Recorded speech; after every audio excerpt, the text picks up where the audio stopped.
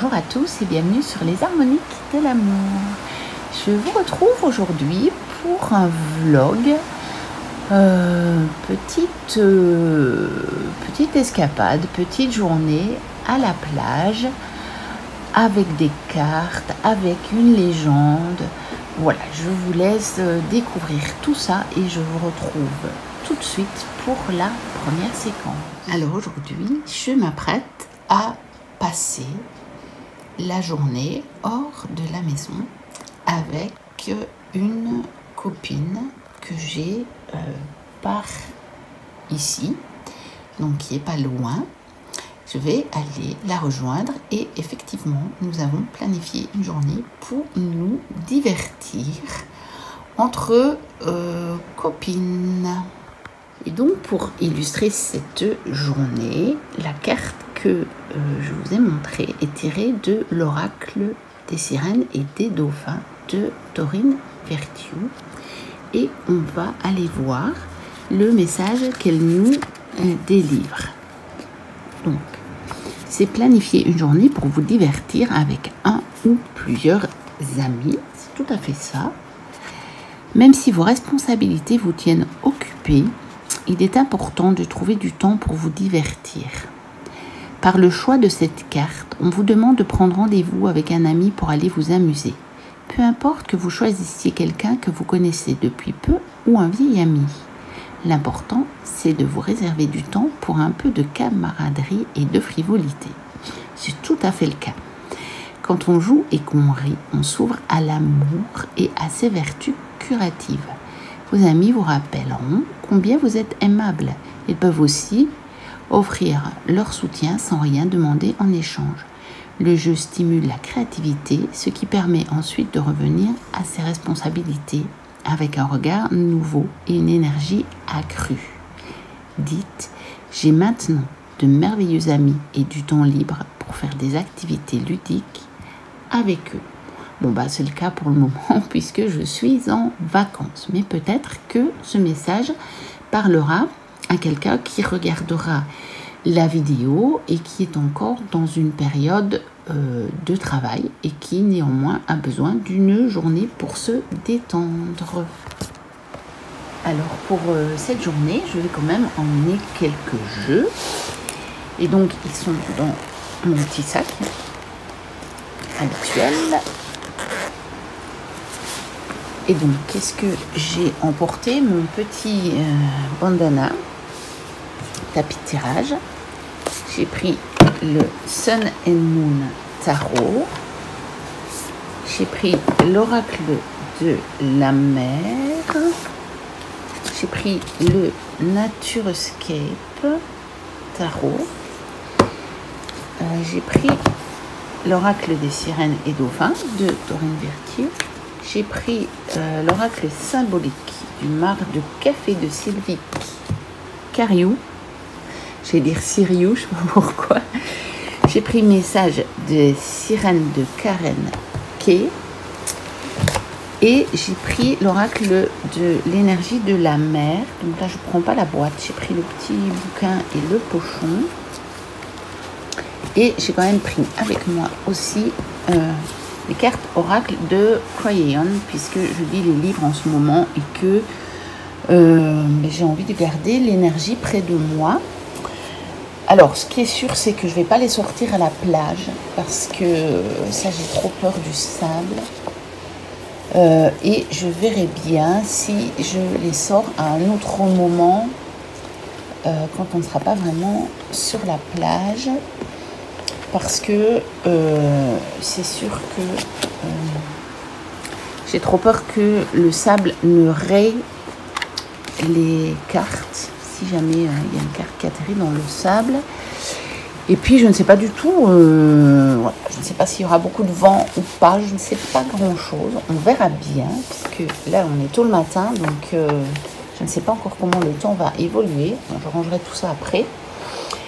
Et puis voilà, je vais, euh, je vais passer la journée, je ferai des petites séquences, je pense, filmées, que j'essaierai de mettre en rapport avec euh, des cartes. Et puis je vous ferai un petit vlog avec tout ça.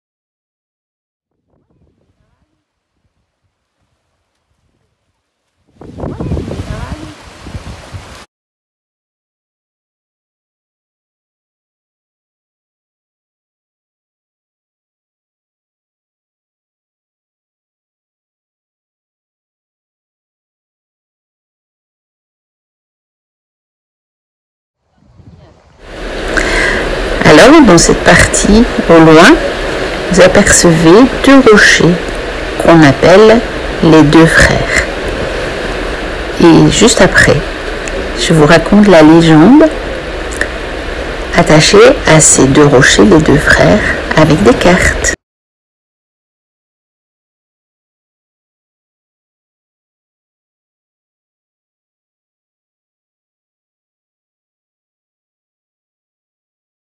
Je vous retrouve donc pour la légende des deux frères. Les deux frères sont des rochers jumeaux en forme de pain de sucre situés à l'est du cap Sissier, donc qui se trouve dans la ville de Toulon, au large de la ville de Toulon, bien sûr, puisqu'ils sont en mer. D'une prestance étonnante, ils sont à l'origine de nombreuses légendes qui hantent encore les flots. Voici l'histoire.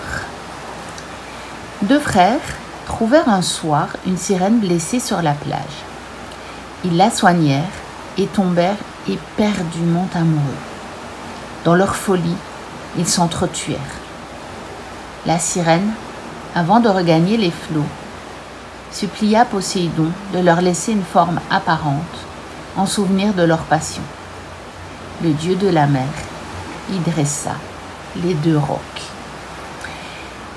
Alors j'ai cherché dans mes jeux, dans les jeux qui sont euh, ici avec moi, de quoi trouver des rapports avec euh, la légende et j'ai retrouvé des cartes qui permettent presque de reconstituer la légende. Donc on va faire ça ensemble maintenant.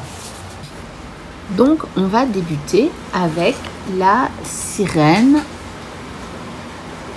naufragée de l'oracle des esprits de l'eau de Jasmine Beckett Griffith, donc, euh, dont le livret a été écrit par Amber Logan et Kashina Micheletto.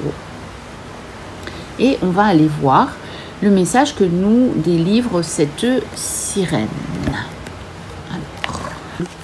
chante pour moi, sirène, de ceux qui sont lascivement dépravés par la gloutonnerie, l'excitation et la vanité affichée.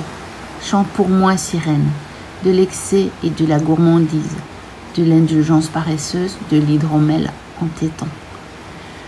Chante pour moi, sirène, de la débauche et du succès, des riches et des choses qui brillent, je resterai libertine une fois de plus. Une sirène trompeuse sourit gentiment à ses victimes. Derrière elle, toutefois, nous pouvons voir ses véritables desseins.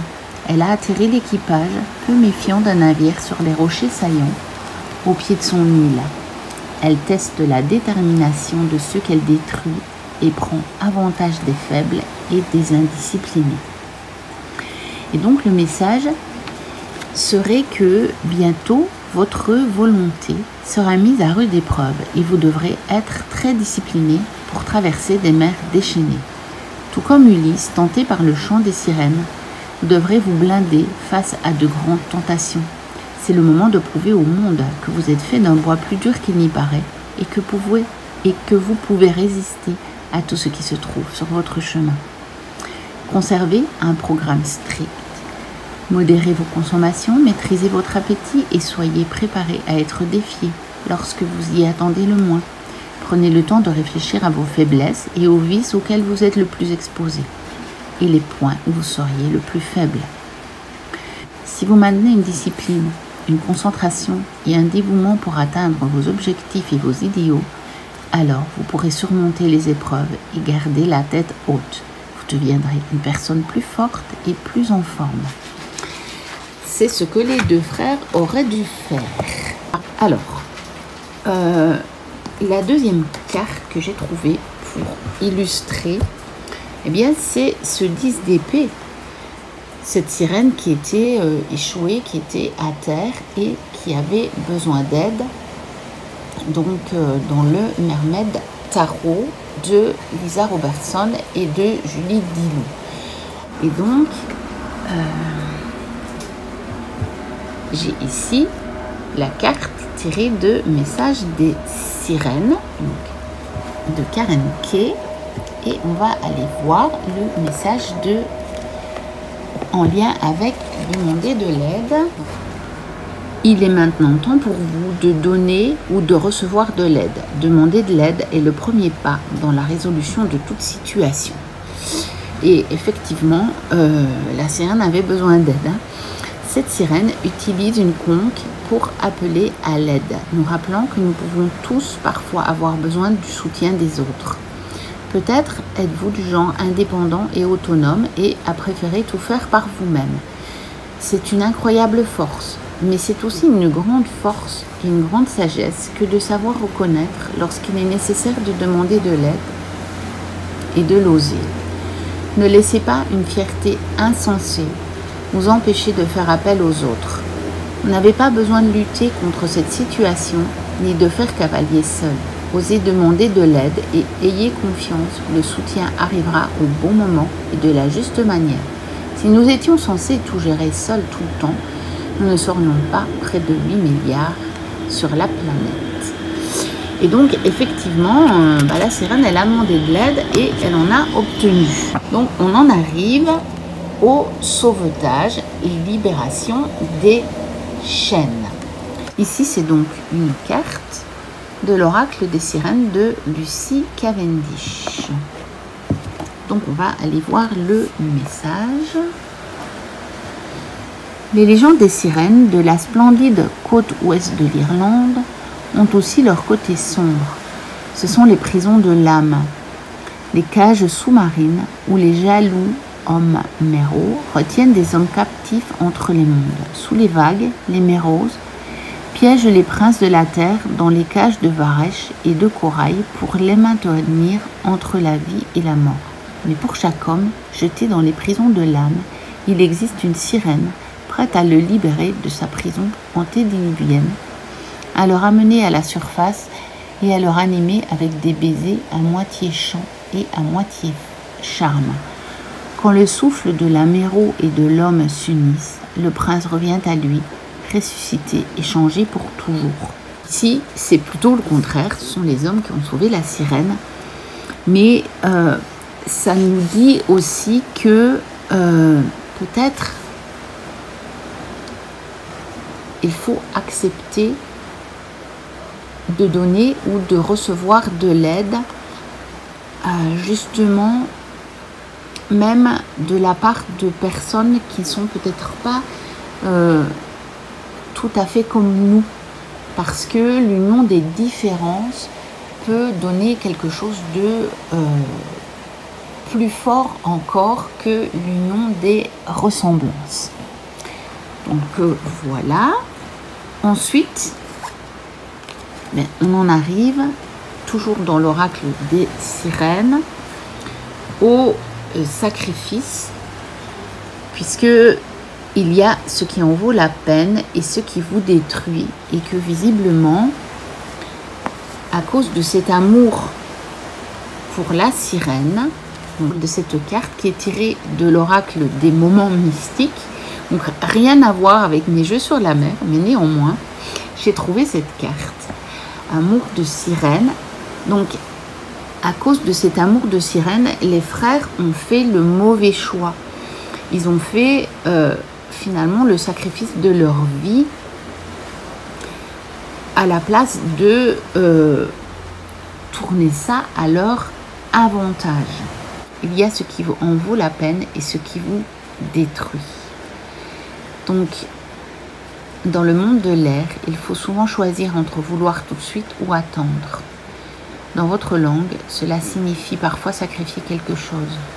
Nous connaissons les histoires que vous vous racontez les uns aux autres et les déités de la terre et du ciel aussi. Dans l'océan, il y a eu également de grands sacrifices. Des baleines se sont parfois échouées pour nourrir vos ancêtres, plus évoluées que nous. Elles savent que la vie individuelle n'est rien au regard de l'évolution. Dans votre monde, on raconte la légende d'un grand dieu paternel, Odin, dieu des peuples nordiques. Selon cette légende, il a bu à l'étang de la sagesse. L'eau est le véhicule de la sagesse et s'est ensuite pendu au frêne Yggdrasil pendant neuf nuits, avant de retourner dans le monde avec un seul œil, mais avec le savoir. Les Vikings affirment qu'il ne regrette pas son sacrifice car il lui fallut renoncer à quelque chose pour obtenir la sagesse. Dans votre conte, la petite sirène, on dit que par amour pour un humain, elle a renoncé à sa voix, à sa vie dans l'eau et même à sa capacité à marcher sans douleur. C'était un sacrifice, c'est certain. Mais elle a renoncé à ce qu'elle avait de plus sacré, elle-même, car à la fin, elle n'était ni sirène, ni femme, ni aimée, ni entourée.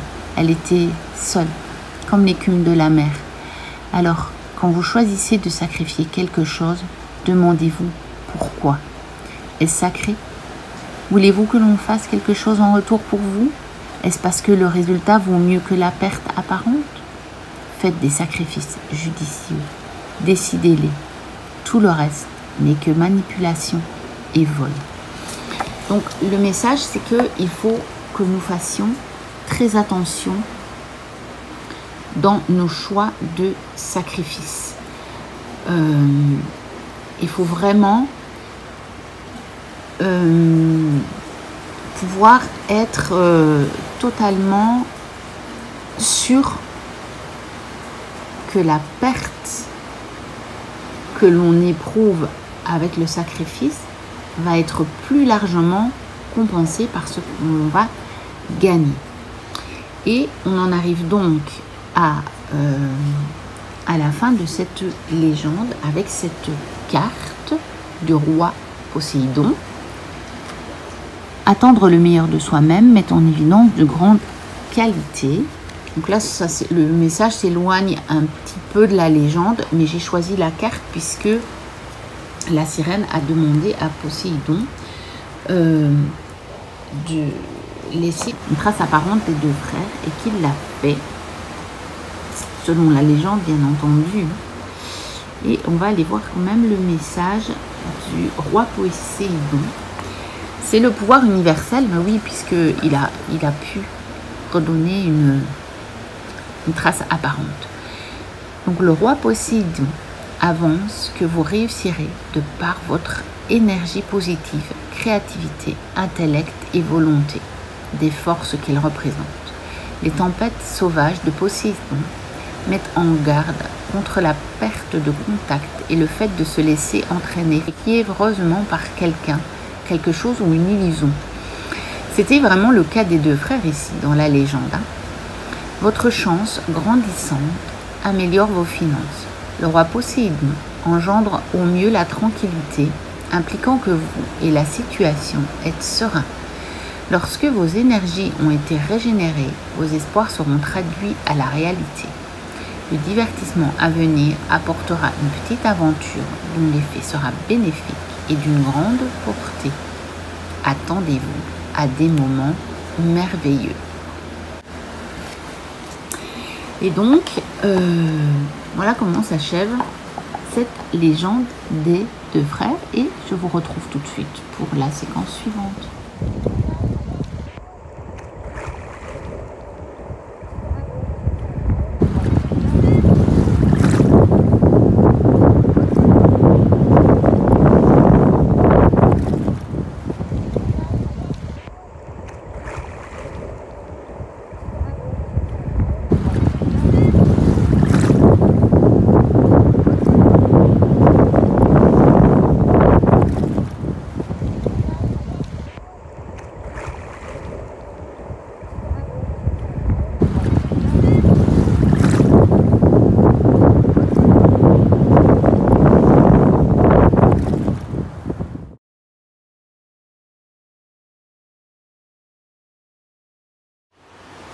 Alors voilà, au retour de la plage, donc avec euh, ma copine, elle m'en avait parlé euh, d'une librairie qui se trouve donc sur le port, que je connais depuis des années.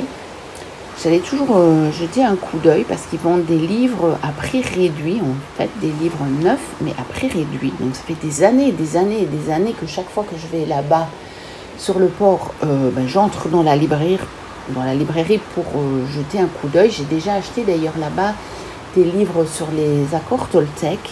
Je me rappelle très bien. Euh, et puis là, elle m'avait dit que depuis quelques mois, peut-être un an, mais bon, moi, ça fait un an et demi que j'étais plus euh, revenue ici. Ils avaient des tarots et des oracles. Et donc, bien entendu, j'ai pas pu résister. Parce que bah, celui-là, il était sur ma liste, le Good Karma. Il y avait l'autre box, mais je ne l'ai pas prise euh, sur l'abondance. Je, voulais celle-là. Euh, bah, ça, c'est grâce à Romilou, en fait. Ensuite, euh, celui-là qui était sur ma liste depuis longtemps, que j'ai déjà failli acheter quelques fois. Et je voudrais bien l'autre. Il y a l'oracle de l'ADS, je crois que c'est simplement ça. Et après, il y a eu les rêves de l'ADS. voilà, j'ai déjà celui-là. L'autre, il n'y était pas. Celui-là que j'ai vu dernièrement chez euh, Romilou aussi, je ne savais pas trop, mais en fait, quand j'ai revu là le visuel des cartes à l'arrière de la boîte, je me suis dit, si, si, si, celui-là, euh, il m'appelle, il a l'air très doux. Celui-là que j'avais repéré depuis très longtemps en anglais, que j'avais vu qui était sorti en français, mais euh, où on trouve des tas de contrefaçons et donc, euh, d'occasion, on ne m'était jamais lancé. Et puis bah là, euh, ouais, j'ai le beau coffret du courrier du livre. Euh, voilà, à moitié prix. Hein. regardez, 16 euros à la place de 32. Et alors j'ai pris celui-là. Je les avais vus passer, je crois, je ne sais plus trop. Et il y en a un autre sur les liens familiaux. J'ai pris celui-là, sur les liens amoureux de Stéphanie Abellan. Et bah, je verrai bien ce que ça donne. Voilà, ils sont tous à moitié prix en fait. Ils sont encore sous blister et vous les avez à moitié prix. Donc c'était intéressant. Et je savais que de mes vacances, je reviendrais avec des jeux. C'était comme ça, c'était euh, presque une certitude en moi, mais je ne savais pas du tout. Euh, où et comment j'allais les acheter. Et puis voilà, bah, c'était ça. Je ne sais pas si j'y retourne et s'il y en aura d'autres euh, d'ici que j'y retourne. On verra bien. Mais en tout cas, j'ai ramené cela. Et évidemment, je vous ferai un petit vlog pour les découvrir. Et nous voici donc arrivés à la fin de ce vlog. Euh, n'hésitez pas à liker, à commenter, à vous abonner si ce n'est déjà fait. Moi, je vous dis à très bientôt pour une prochaine vidéo et d'ici là, portez-vous bien. Bye bye.